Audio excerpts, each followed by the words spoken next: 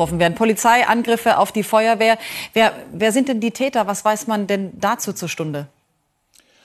von den Tätern äh, zu sprechen, ist in solchen Kontexten immer ein bisschen schwierig. Tatsächlich ist es so, dass ähm, die Gewerkschaft der Polizei sich äh, dazu bereits geäußert hat und gesagt hat, es seien gruppendynamische Prozesse, ähm, also ein gesamtgesellschaftlich großer Druck, der geherrscht hat, ähm, geherrscht haben soll, anlässlich jetzt nach zwei Jahren Pandemie und dass man da eben äh, versucht, ähm, ähm, genau, dass man eben an Pyrotechnik auch leicht rankommt und dass dort eben äh, das zu großen Problemen geführt habe.